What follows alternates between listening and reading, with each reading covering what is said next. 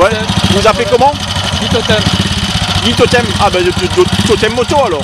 On se connaît, on s'est déjà vu. Ouais, c'est vieux. On s'était vu la dernière fois à Isola 2000, je crois. En 2009.